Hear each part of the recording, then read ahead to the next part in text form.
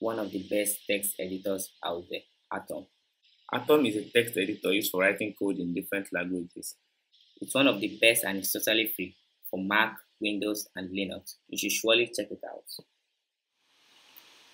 What's up guys, HQ Media here. Welcome to the Atom Basic tutorial. In this video, we will look at the basic features that needs to be in place for Atom Editor to work perfectly well. And also, these features will also increase your productivity while coding. So make sure to follow up to the end of this video. We will start by downloading and installing Atom on our system. It is available for Mac OS X, Windows, and Linux operating system. To install, go to atom.io and download the package, then install. So here we are at atom.io.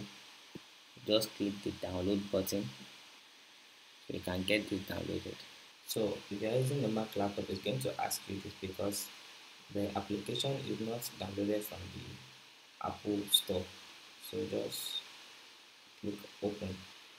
Now we have our Atom software loaded. From here, we will start the customization. Hit the command and the comma key on the keyboard. This will take you to the system settings of Atom. From here on, select the install option. So in here is where we'll install our packages to the Atom application. So what are packages? Packages are basically the features of Atom. So every feature that could possibly be attached to Atom is a package. Here we will install few packages that will enhance our coding experience in Atom. The first one on the list is Atom Live Server. So Atom Live Server by Jazz Chen, yes. So install this.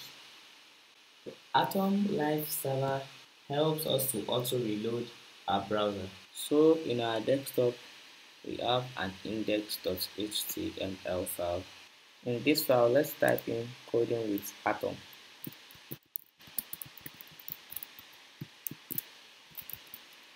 So we save this with command S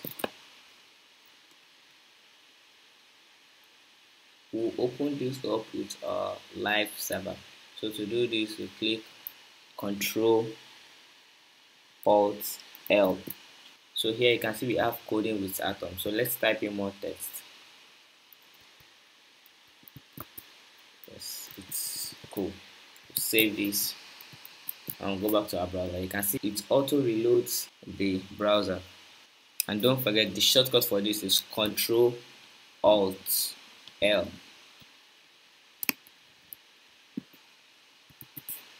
So the next package we're going to be looking at is the Emmet by Emmet IO I think. So we'll install this. So basically this package installs all essential tools for web developers and it also allows to create tags and attributes easily through abbreviations. So now we have our Emmet installed. So as I said it's used to create tags and attributes easily through abbreviation. So now we're going to create an h1 tag with a class in it. So to do this you just need to type in h1 then dot then the name of the class. So let's call this nav and hit tab.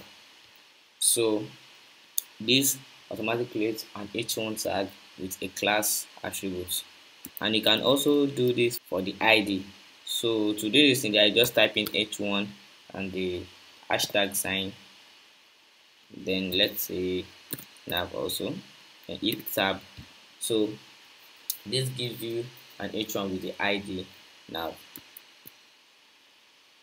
so the next one we're going to look at is file icons by file icons.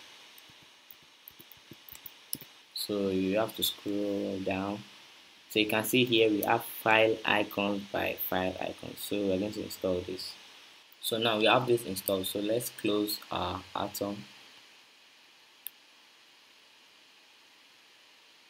Let's reopen it. So let me just say this now. Some some features won't be applied until you restart your software. So the atom live server also won't be applied until you restart your software.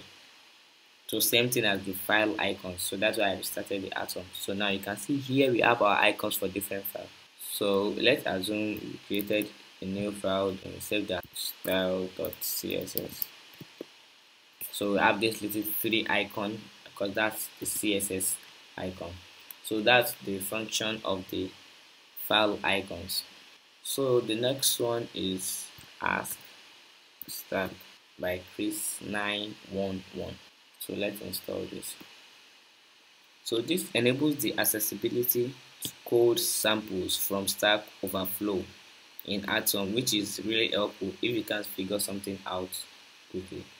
So this is installed now. So let's assume we don't understand something in our index.html. So we can go to the packages and we will go to ask stack. Then you click ask question.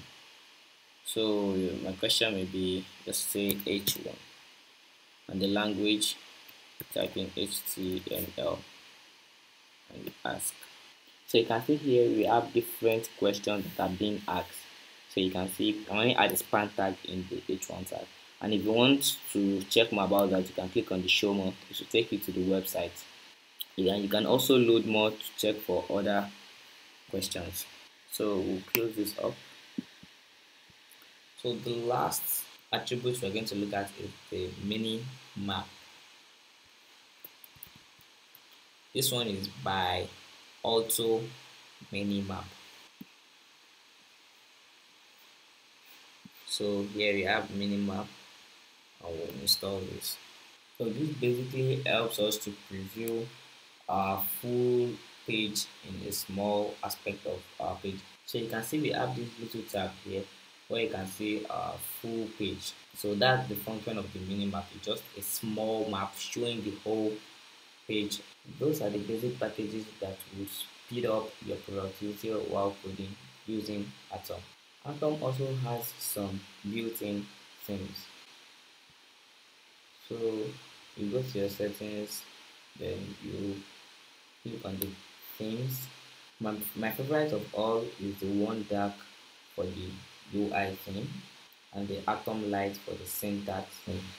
The syntax theme is the theme of the text in the editor, while the UI theme is the theme of other aspects of the editor. So you can also change this to atom light.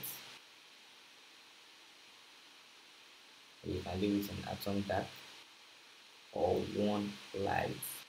But I prefer one dark and atom light on this aspect. The atom dark seems too dark but I prefer the one dark and the atom light. So we're going to stop for this video. If you enjoyed this video, you can also watch the video right here on the features of Visual Studio Code and also a playlist for beginners in HTML. Thank you for watching. Don't forget to subscribe and like the video. See you in the next video.